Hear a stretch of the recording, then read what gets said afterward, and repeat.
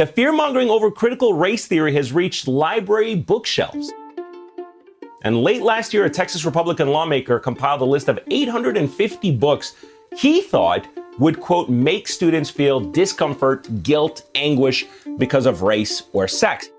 By now, this story is frustratingly familiar. A parent complained about a book by Jason Reynolds and Ibram Kendi's called Stamped Racism, Anti Racism, and You. As the story often goes, conservative white parents hear about a book in their kids' school that deals with race or gender or sexuality, and they want it removed, not just from the shelves, but from the entire curriculum, all in the name of protecting their kids. In recent weeks, it's felt like these stories have been spiraling out of control. But this time, another parents group pushed back. The Round Rock Black Parents Association organized groups to come speak in support of literature that is not whitewashed. They made a petition to keep the book in the curriculum. More than 3,600 people signed on. We thought it was completely and wholeheartedly unfair. And so it was actually a teacher in the district who started the petition to make sure that we kept the book in the district. And we just organized around that teacher's petition. We spoke out at school board meetings, we made our voices heard, and the book wasn't banned in the end. This group, the Round Rock Black Parents Association, decided they needed to step in and defend their kids' access to anti racist education. And they won. Unfortunately, the person tried to have the book banned after reading, I think, one sentence in the book. He didn't like it and he felt uncomfortable with it. And so he wanted to have it banned for an entire school system. Sure, this was one book in one school system in Texas, but it's also a glimpse into what's possible when we employ a different kind of mom's activism and what we can accomplish when we invert who is centered in discussions around parental rights. I'm Julie Kohler, and this is White Picket Fence. This season, we're exploring mothers as a political force. Last week, we looked at how moms can be a force for progressive change. And we examined the roles that racism and classism have played in these movements and prevented better outcomes. White progressive moms are taking steps to avoid these same mistakes. But there's so much we could have achieved if we'd always platformed the most marginalized voices.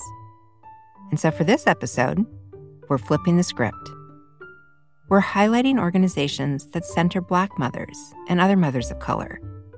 It's a strategy that has led to safer schools, better maternal health policies, and increased support for workers and families.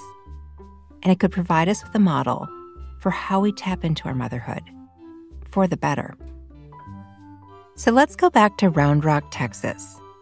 In this Austin suburb, a group of black and brown moms decided that enough was enough and refused to let some white parents exert their rights at the expense of others. Centering of white voices in all of these movements, and then the words, it's parents' choice and parents' rights being tossed around says that I'm I'm not considered a parent. Ashley Walker is the Chief Communications Officer for Round Rock Black Parents Association. I spent 29 hours in labor with my, my now seven year old. I feed her, I clothe her, you know, I take care of her, I provide for her needs and her wants. And yet I'm not considered in the equation when we're talking about parental rights. People who look like me are not considered either. Since Moms for Liberty burst onto the scene, Republican politicians have been tripping over themselves to one up one another in their support for so called parental rights. Mr. Speaker, I rise today in support of H.R. 5, the Parents' Bill of Rights. The Parents' Bill of Rights Act was the first piece of legislation that Representative Kevin McCarthy unveiled as Speaker in front of a crowd of mostly white parents. This is empowering the parents. This is the Parents' Bill of Rights. It's knocking down currently with this Biden administration that wants Washington to control all, that wants a DOJ to go after parents when they go to school board meetings. No, this is opening up the schools to the parents. A couple of weeks ago, it passed the GOP controlled House. The bill mimics what's already been enacted in states like Florida and Texas. Among other things, it requires schools to provide parents with a list of books at the school library and make curricula publicly available. It supposedly gives parents more of a say in their kids' education. But in reality, it caters to the demands of a small but vocal extremist minority. At the same time, the Parents' Rights Act is totally silent when it comes to the very real concerns that Black and Brown parents have for their children. They also want to make sure their kids get a good education, are safe at school. But for them, the stakes are very different. In fact, Round Rock Black Parents Association was founded in the aftermath of a violent racist incident. In 2015, a black student was body slammed by police onto the floor. JC Hughes is suspended today due to that fight, but it's what happened afterwards that has him speaking out. The cop grabs him by the throat and takes him to the floor. The video went viral, and because of that, black parents got together and they were able to fight against this injustice. Since then, Round Rock Black Parents Association has been fighting for a different kind of parental rights agenda, one that's focused on ensuring safety for all kids by prioritizing the needs of Black and Brown kids, and by highlighting how and by whom violence is actually perpetrated. One of Round Rock Black Parents Association's top priorities is reducing police presence in public schools. You know, we understand the thought processes behind it, which is to eliminate mass shootings. However, the data shows that the likelihood of one increase when there's a police officer on campus. And so we don't want a police officer on every campus because that's going to be detrimental to Black kids more than anybody else. Another priority is ensuring public schools get the funding they need, which means stopping charter schools from siphoning away resources. The numbers show that the people who attend public school the most are Black and Brown in this area. If we fund them properly, then black and brown kids and white kids and every other kid can learn what what needs to be learned in order to grow within our society and be productive members of society. Ashley and other Round Rock parents started locally. But over time, their organization grew, and so did their legislative targets. Recently, they've taken their advocacy to the state capitol to make sure that state legislators hear their voices. But it's an uphill battle honestly, I think that when it comes to politics, politicians are more willing to hear a mom out than anything. However, then we have to have the conversation, but you're a black mom. So are they really listening to you because you're a black mom, right? But you know, we we work in the the same vein as the black mothers that have come before us, black women who have come before us in, in the struggle for achieving freedom for black people. Round Rock Black Parents Association isn't alone. The same guiding principle, centering the Black experience, is being used to advance a wide range of policies. We work on what we call our Mama's Agenda that includes paid leave, childcare, affordable childcare, maternal justice, basic needs, and higher wages. That's Danielle Atkinson. She's the founding director of a Michigan based organization called Mothering Justice. Back in the mid 2000s, Danielle had just moved to Michigan with her husband. They had recently finished up some work on a political campaign. Danielle had a lot of energy that she wanted to use to create positive change. But she noticed that many progressive organizations didn't always live up to their rhetoric. You know, when when we would be talking about issues specifically economic justice issues, uh, the talk would be about let's make sure that we have a white woman you know, to talk about this issue, to be a validator. And then I became pregnant in 2007 and you know, I realized that there was there wasn't room for my story and my experience in the work that I did. Danielle realized she needed a space where she could talk with other Black moms about their experiences with pregnancy and raising kids.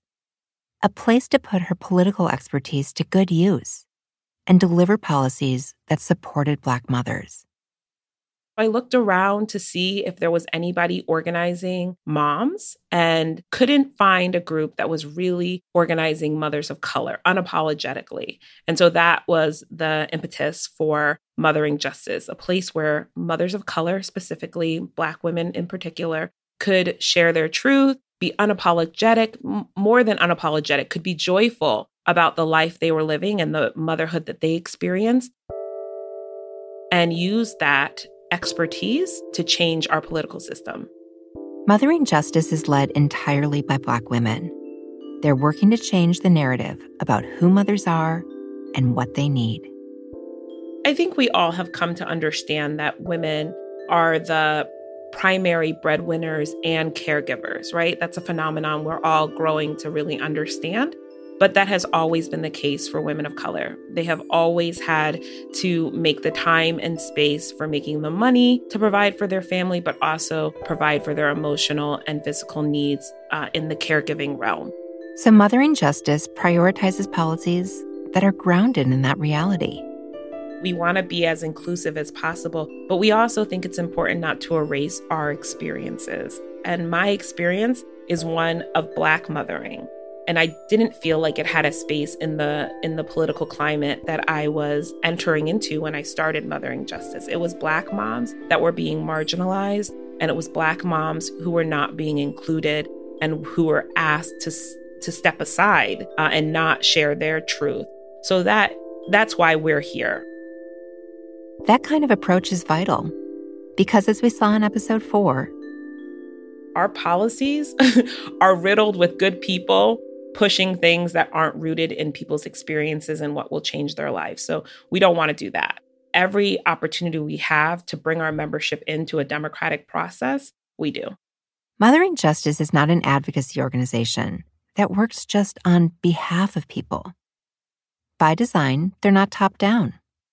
Instead, they work in community and organize. They build a base of Black moms and give them the tools they need to drive their agenda. Danielle and her colleagues work with community members to identify the problems they're facing and empower them to develop solutions. This grounding in community forces different questions to be asked. So, when we're talking about childcare, is it affordable? Is it accessible? Is it culturally competent? Maternal justice, am I going to be respected and even believed when I say I'm in pain? It leads to policies that are actually useful and transforms people's sense of their own agency. This is all underpinned by believing that you deserve a place in the system, a voice, a seat at the table. And so that's probably our biggest work is having mothers of color understand that this system was not made for them, but they deserve to have a system that represents them completely. Danielle and her team at Mothering Justice also have been working to change the system. They're training Black moms and other mothers of color to become leaders, community leaders, political leaders. It's enabled Mothering Justice to have a pretty significant impact. Since the organization started, they helped raise the minimum wage in the state. Twice. They've built demand for paid family leave so much so that the issue is poised to pass the Michigan state legislature this year. You know, people would say, "Well, you're you're just focused on such a small segment of the population," uh, and we would say that if we get this group of people enthusiastic about these issues, able to step into their own agency, not only is that an invitation for others, we're talking about the real problem of inequality and that's where we need to focus on. If we if we can eliminate inequality then you solve for everyone's problems but that needs to be addressed first and it can't ever be glossed over. One of the foundational principles of mothering justice's work is that a more equal world is better for all of us. It's a hard concept for a lot of people to wrap their minds around. We've seen over and over again how much of our politics is driven by zero sum thinking the idea that the pie is finite. And if someone else is getting a piece, that means my child or my family isn't. But in reality, when we band together, we can create abundance. For example, when Michigan raised the minimum wage, it directly benefited about 1.4% of hourly workers in the state. These workers are generally young and more often women than men. It's a small number of people. But by helping these workers afford the goods and services they need, the law indirectly helped the businesses that sell those goods and provide those services too. All of this demonstrates why the work that organizations like Mothering Justice and Round Rock Black Parents Association do is so important. Why we need organizations that, as Danielle said, unapologetically organize Black moms and other moms of color. And why we also need organizations that are working to cultivate a sense of shared fate across race, class, and all dimensions of difference. More on that after the break.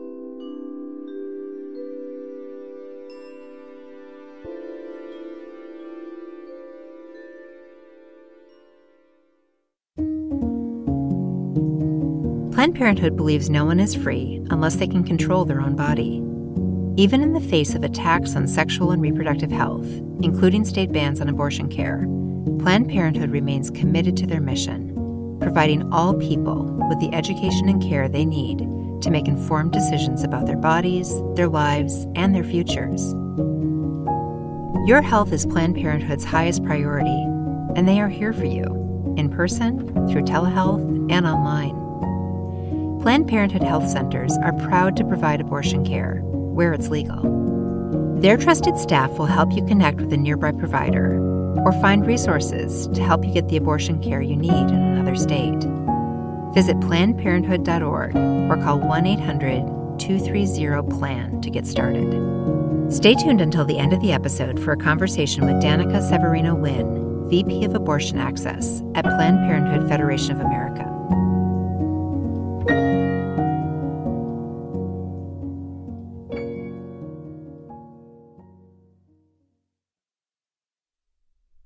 For Monifa Bandele, the notion of solidarity was at the center of her upbringing in Crown Heights, Brooklyn. The environment basically said that your fate is tied to the fate of your neighbor, your fate is tied to the fate of people who live far away from you on planet Earth, you know, and so we kind of really grew up understanding that our fates were connected and that if there's injustice happening or someone is facing systemic challenges, that it's it's your responsibility to intervene, of course, but also that it, it impacts you in very real ways, even if you can't see it in the moment. Monifa also got a firsthand view of the political power of mothers. My mother specifically was a part of a citywide rent strike when I was a kid. What I witnessed, you know, just as a 8, 9, 10 year old girl was actually watching mothers meet in our apartment building, devising a plan to improve the living conditions in their building, being met with threats and a lot of in- intimidation. White men would show up in, in trench coats and look physically aggressive and, and yell at them. And so being able to see the power of moms at such a young age, and they won. They won the uh, demands from those buildings. So, not just for our building, but for dozens of properties all over the boroughs was profound, and it, it stayed with me to this day. As an adult, Monifa has channeled these lessons, these values, into her own activism. She's now the chief strategy officer for an organization called Moms Rising. It's a multiracial group of more than a million moms fighting to build a more family friendly America. Moms Rising members can work together effectively as black moms, brown moms, white moms, queer moms, immigrant moms, because they've all signed on to this core idea. If you find solutions to problems affecting the most vulnerable moms, you help everyone. Moms Rising is unapologetic, both for their intersectional focus and for the need to bring mothers of all backgrounds into this fight. The largest voting demographic in the United States are white women. And we have to get them together. We have to get white women and white moms engaged in educating themselves, in organizing one another, You know, people say, why do you work in this multiracial organization? You get tired of working with white women. Well, yes, of course. Someone who has to constantly work on deconstructing their uh, white supremacy is exhausting and it's not a job for everyone, right? But I also feel like we cannot leave white women to their own devices. With these tactics, this form of political education, they really are moving the needle. They've created maternal mortality review committees They've helped pass the PUMP Act, which provides protections for nursing mothers in the workplace, the Pregnant Workers Fairness Act, which requires employers to provide accommodations for workers around childbirth, pregnancy, and other related medical needs, and the Triumph Act, which focuses on maternal mental health. And now they're working to pass something even bigger the Momnibus. That's what Moms Rising and their allies call a packet of legislation they're supporting in Washington right now. It was first introduced in Congress a few years ago by members of the Black Maternal Health Caucus. Here's Representative Lauren Underwood explaining more about the Momnibus on PBS's Chicago Tonight. In order to end our nation's maternal mortality crisis, we have to have a comprehensive approach. And that's what the Momnibus is. It allows us to invest in things like growing and diversifying our perinatal workforce, meaning that we can have more midwives, more nurse midwives, more lactation consultants, more doulas, so that every mom can have the support that she needs during pregnancy, labor and delivery, and the full year long postpartum period. We also are investing in uh, things like maternal mental health and substance use treatment. Uh, we are investing in social determinants of health, like housing and transportation and nutrition assistance. We're also investing in addressing this COVID 19 pandemic and its unique impacts on this population of moms. Um, and finally, addressing the impacts of extreme heat and air pollution, which we know these climate change related impacts are very harmful uh, to expectant moms, uh, postpartum moms, and their infants. These might all seem like very different issues, but that's kind of the point. It centers people in the policymaking, in this case, Black moms, and it looks at all the factors that affect their health. By making this a priority, Moms Rising is avoiding the pitfalls of progressive organizing of the past. They and their allies in Congress are being very explicit in naming who they built this legislation around race and class, are not an afterthought. It's called the Black Maternal Health Momnibus, right? Because we understand that if we center the moms who are having the worst crisis of mental health, it will actually impact everyone who's giving birth in the entire country. Right now, the Momnibus is still in committees, and it might take a while to get a vote. But it's a huge step to have policies that address Black moms' needs right from the get go.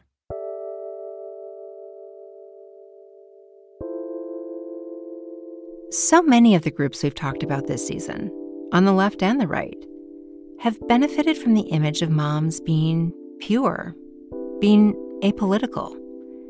But Moms Rising is challenging that status quo by being overtly political we've kind of created this, you know, American fairy tale of the mom who's just like, the men are dealing with the politics, and I'm just here, and I know what is going to make my kid feel good and do well and be healthy. And that's just not the case. That's just not the case. Women are full multidimensional human beings. Moms are full multidimensional human beings. We have political agendas. I have a political agenda. My mom, my grandmothers, they've all had political agendas. It's a relief to hear Monifa acknowledge that motherhood is political, that moms are political. The idea that what happens in our homes and what happens on the Senate floor are divorced from each other is just wrong. The activism we highlighted today provides a more accurate view of mothers, not grounded in some imagined ideal, but in the reality of our lives. One that's not purely selfless, because our needs, as moms, as people, matter too. In many ways, it feels like the path forward. But I'm going to be honest, I still feel a bit conflicted. I'll be the first to admit that my own identity as a mother matters to my politics. I desperately want my son, for all kids, to be safe. to have access to excellent care and education. I want the work that we moms do to be valued and supported. I want the kinds of public investments in care that would make mothering easier. Being a mother has also brought an urgency to my politics. Climate change, the attacks on democracy, women's rights, racial justice all of these issues will have an even greater impact on my son's generation. Getting involved and fighting for what I believe in feels like part of the job of mothering. But at the same time, as meaningful as it is to be a mom, I think it's important to acknowledge that I was politically active long before I had my son, and that being a mom is just one aspect of who I am. I want a voice, a political voice, that's not contingent on that one aspect of my identity. I want that for all women. Can we build a kind of politics that values women, those of us who are moms and those of us who are not, as the full multidimensional beings that we are? Can we acknowledge the importance of the identity without reducing us to it, or inadvertently co signing on the right's tired family ideal? In our final episode, we'll turn to some of our guests from the entire season to examine the advantages and risks of motherhood activism, an attempt to create a new political playbook.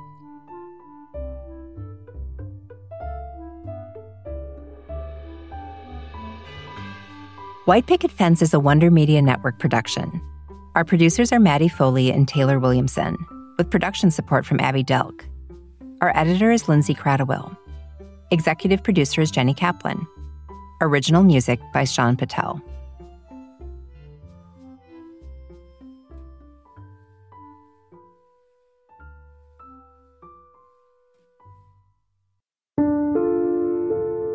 On this season of White Picket Fence, we're talking about the political power of motherhood.